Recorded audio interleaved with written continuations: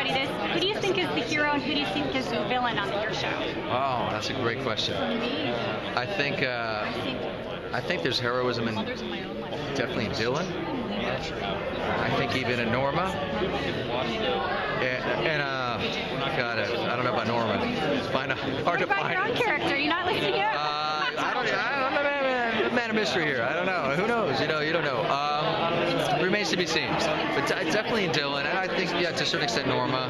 Uh, definitely Emma.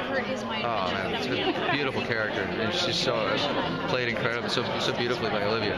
Um, Bradley, not as much. Um, She's still got some dark side there. She's got some dark sides to her. No, I mean she has, and she has a real vulnerability to her. But in terms of heroism specifically, I'm not, I'm not so sure. I think those three for sure.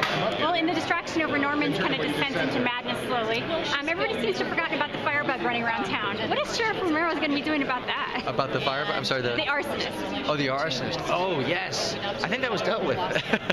No, Carlton said it was not dealt with yet. Oh well, that's news to me. All right. See, I'm learning from you because I don't get, you know, the arsonist. You mean the one who killed uh, Bradley's uh, father? Yeah. Yeah, and then there was the, you know, The hanging body. The hanging body. Uh, yeah.